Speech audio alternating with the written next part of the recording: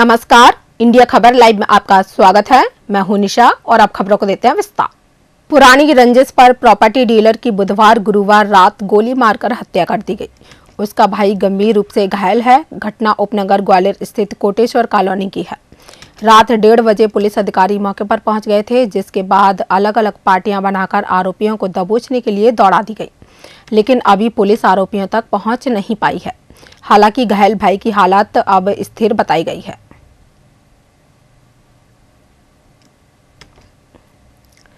Koteshwar colony में रहने वाले पिंकी उर्फ़ विनोद राजपूत का प्रॉपर्टी को लेकर मोनू किरार, सन्नी किरार, सेठी किरार से विवाद चल रहा है। इस मामले में पिंकी ने एफआईआर भी कराई थी।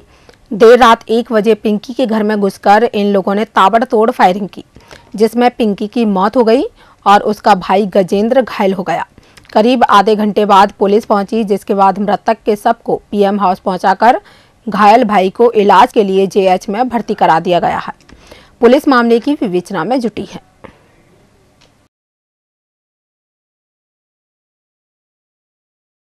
ये घटनाक्रम आज रात को साढ़े बारह से पौने एक बजे के बीच का है कोटेश्वर महादेव के पास का। और ये कोटेश्वर कॉलोनी के रहने वाले हैं किसी ने गोली मार के इनकी हत्या कर दी। है। क्या नाम है इनका? कितने लोगों का नाम है? इसका नाम मृतक का नाम दीपू उर्फ़ विनोद किरार है। और मारने वालों में मोनू किरार और अन्य हैं। तीन लोग। उनका नाम आया हुआ है। क्या विवाद था कुछ जानकारी विवाद के बारे में अभी कोई जानकारी नहीं मिली है। उसको अभी जाँच के बाद में पता लगेगा। लोकसभा चुनावों से पूर्व युवाओं में जोश फूंकने में जुटी कांग्रेस पार्टी द्वारा चुनाव की तैयारियाँ तेज कर दी गई हैं और पार्टी से युवाओं को जोड़ने के लिए लगातार अभियान चलाया जा रहा है। इसी सिलसिले में गुरुवार को कांग्रेस कार्यालय पर यूथ कांग्रेस की बैठक का आयोजन किया गया। जहाँ दिल्ली से आए यूथ कांग्रेस के प्रभारी नटवर सिंह ने कार्यकर्ताओं से चर्चा करते हुए लोकसभा चुनावों के लिए आवश्यक सुझाव भी दिए।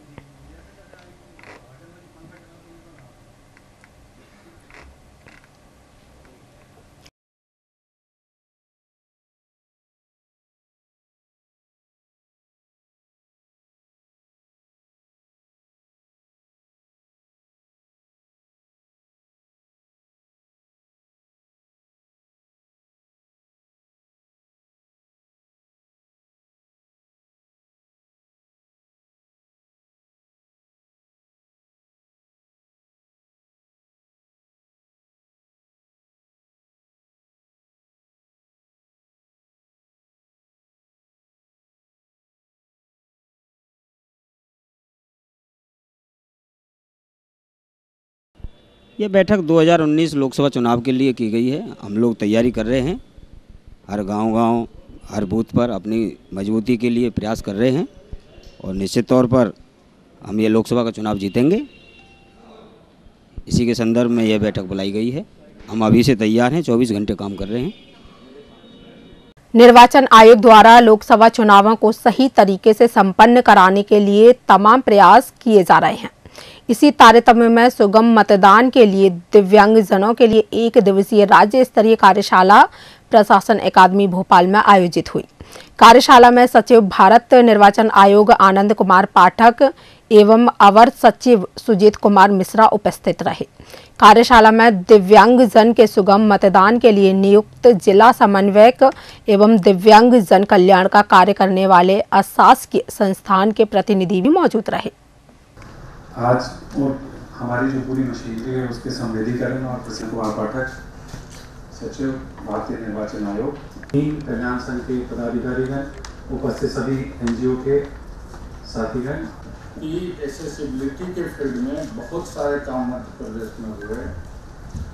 पर्सन विद डिसेबिलिटी की मैपिंग हो उनको सुविधाएँ देने की जो कोशिशें थी।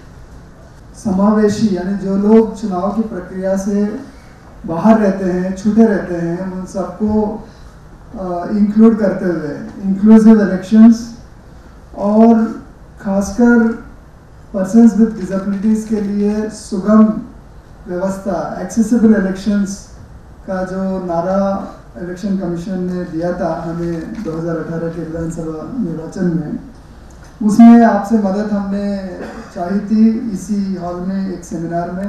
बाकी राज्यों की तुलना में ये बहुत अच्छी संख्या है।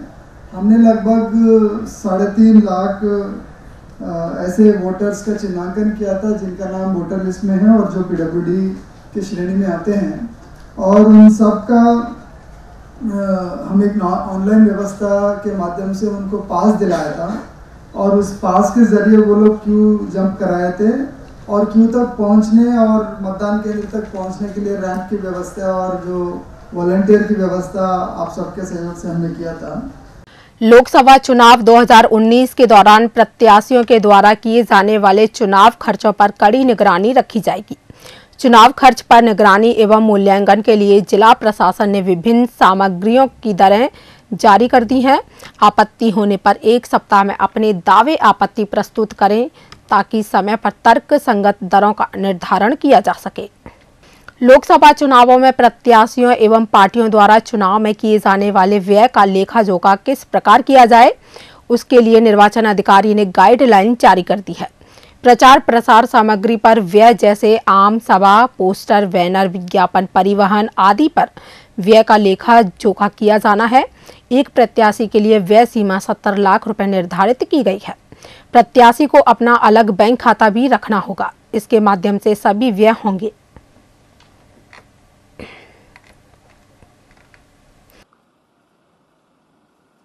ग्वालियर के जनकगंज थाना इलाके के गेंडे वाली सड़क पर बने पीएचई ऑफ़िस में रहने वाले एक युवक ने घर में फांसी लगाकर आत्महत्या कर दी। बताया गया कि मृतक हनी यादव नशे का आदि था और सुबह 10 बजे उसने घर में फांसी लगाकर आत्महत्या की। मृतक के भाई का कहना है कि दो दिन पहले उसके भाई का पड़ोस में रहने वाले व्यक्ति से किसी बात पर विवाद भी हुआ था, जिसके चलते वह मानसिक तनाव में था और फांसी लगाकर आत्महत्या कर ली।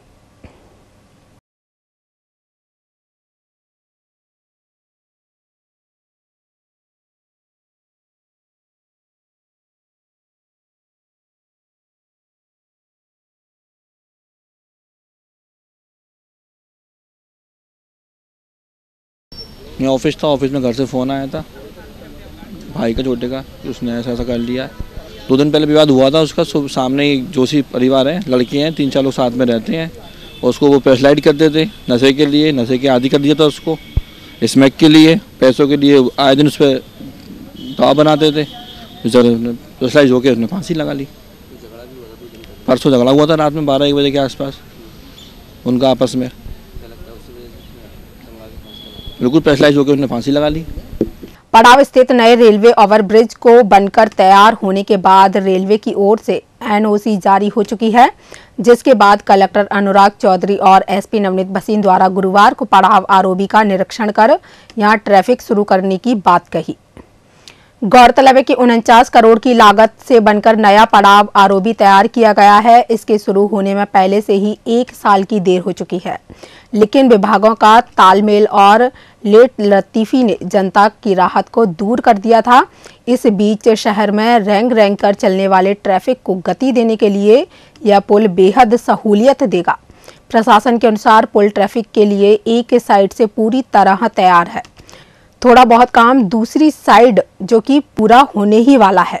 ऐसे में कलेक्टर और एसपी ने निरीक्षण के बाद पुल के पूरे हो चुके हिस्से में ट्रैफ़िक शुरू करने की हरी झंडी दे दी है।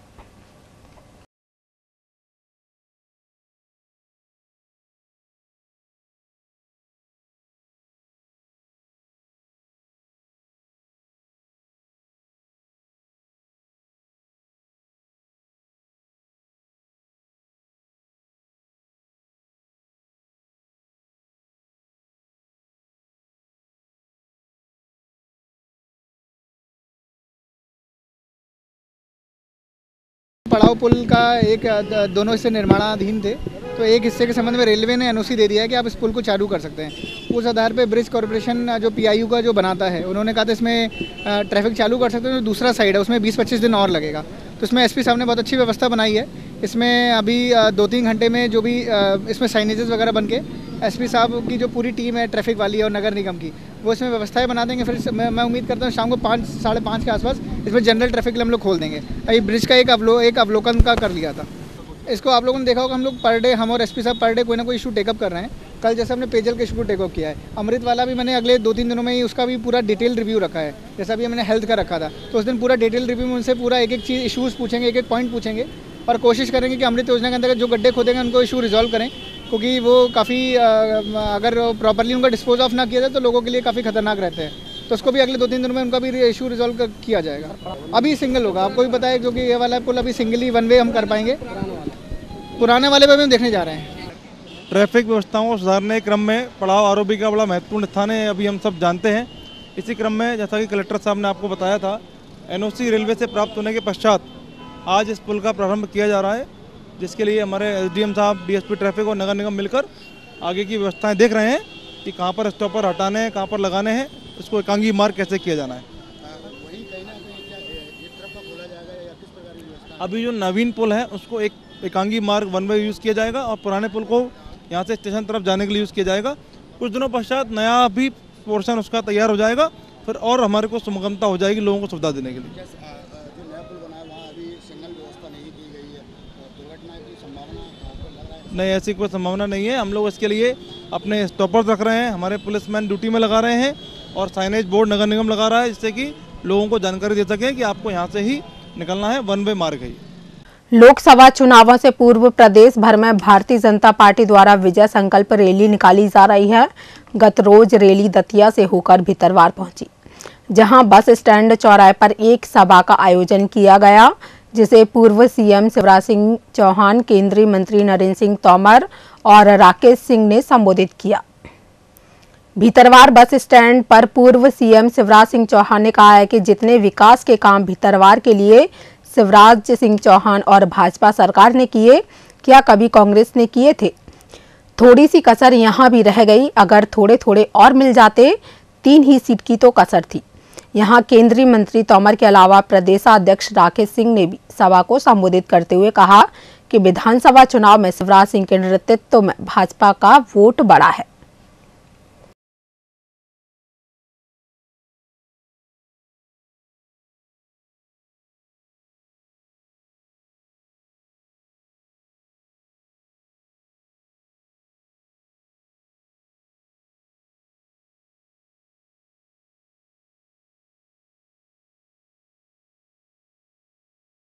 सिंह जी ने कहा है? कि लोकसभा का चुनाव, देश को जिताने का चुनाव है।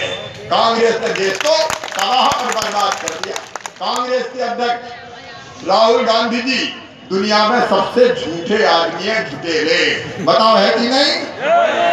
झुटेले आदमी। एक ने इतना झूठ बोलते हैं कि ये झूठ गिनाऊँगा तो आधी रात हो जाएगी। और इसलिए इन भ्रष्ट और बेईमानों से देश को बचाना है।